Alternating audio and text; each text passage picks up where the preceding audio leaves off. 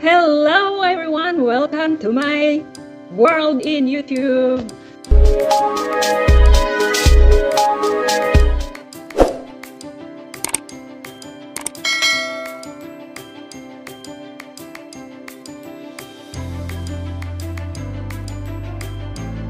If you still didn't subscribe my channel, please click the subscribe button, the red button in the side.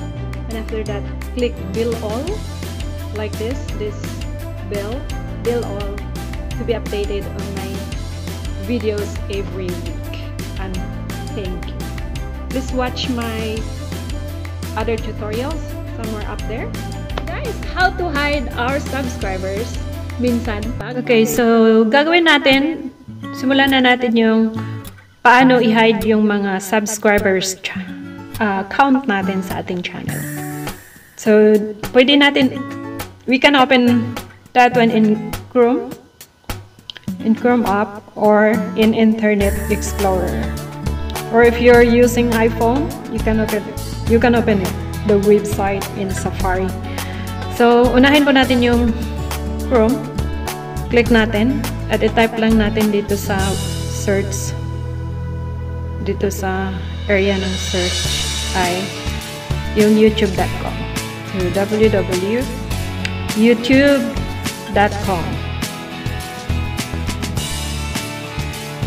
youtube.com then go.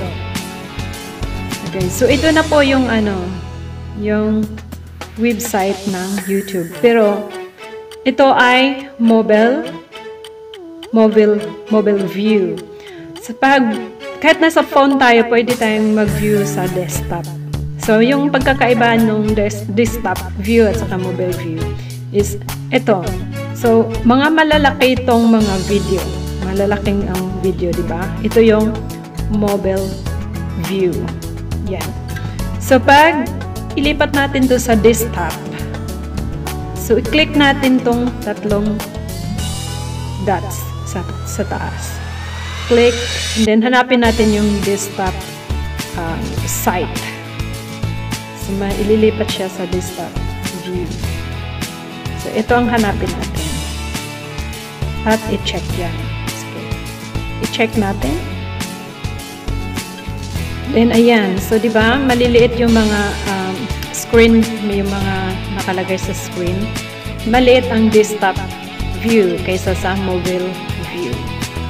So, pag nandyan na tayo sa desktop view, kailangan natin i-change. You need to change to desktop view so that you can go to your YouTube studio in this website.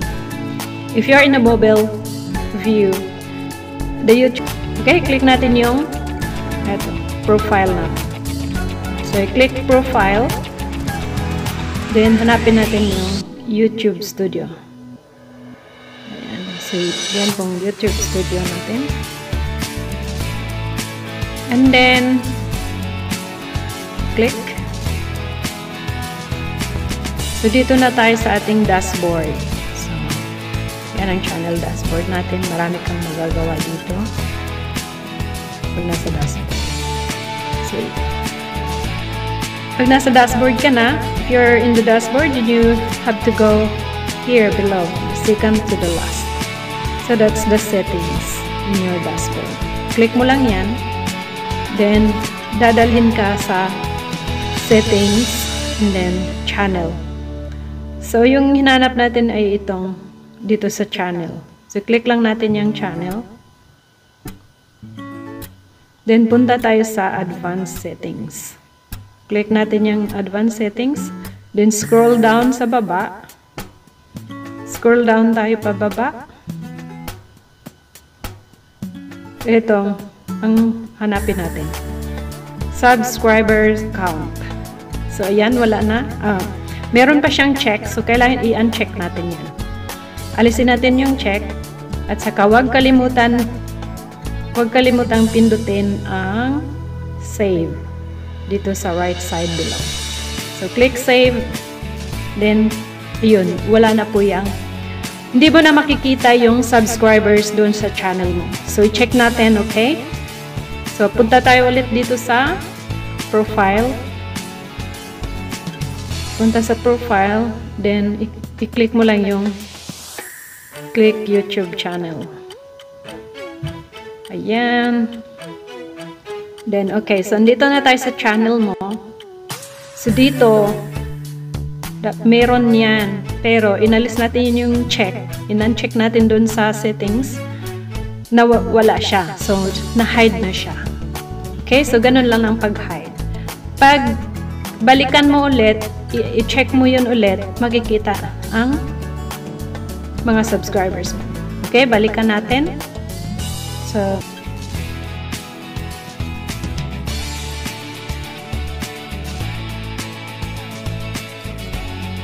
punta ka lang ulit sa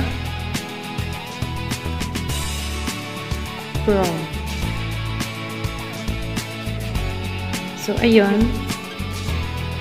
Punta, punta ulit sa settings. Pag after click mo ng Chrome. So, balikan natin ulit. I-check natin para mabalik yung subscribers numbers or count natin. YouTube Studio. So, ito yung studio.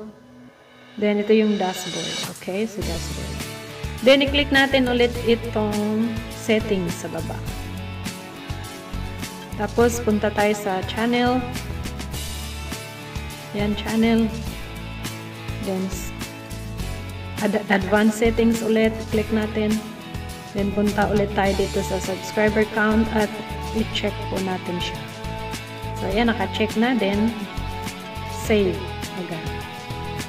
So, i-check ulit natin kung meron na ba. So, punta tayo sa profile. So, click again the profile. Then, your channel. Hanapin mo yung your channel. Oh, ayan. So, nandyan na ulit ang subscribers count natin. So, ganun lang po ang pag, ano, sa Chrome. Tapos, punta naman tayo sa kung paano ang Internet Explorer. Okay, so dito tayo sa Internet Explorer. So, ito na naman ang Then, ganun lang din, the same. Doon sa search bar, dito sa search taas, i-type mo lang yung YouTube.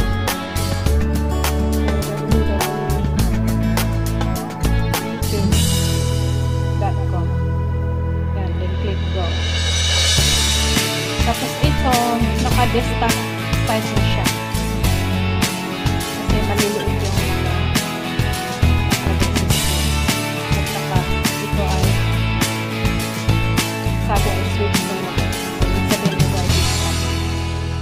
Pag hindi pa, ano pag ito, transfer natin sa mobile. So, ito mobile view. Malalaki yung mga ano niya. So, hanapin lang natin dito sa profile. Sa profile. Hanapin lang natin yung desktop.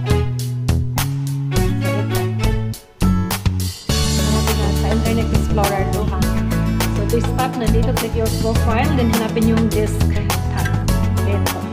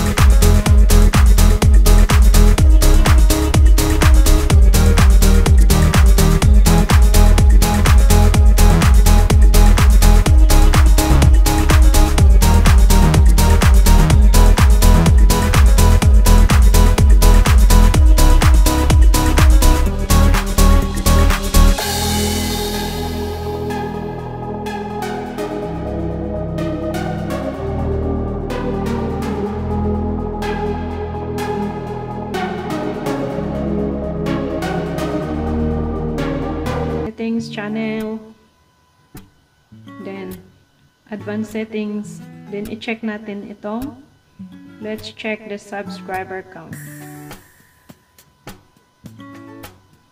Check, then save agad. Okay, save, click save. Then,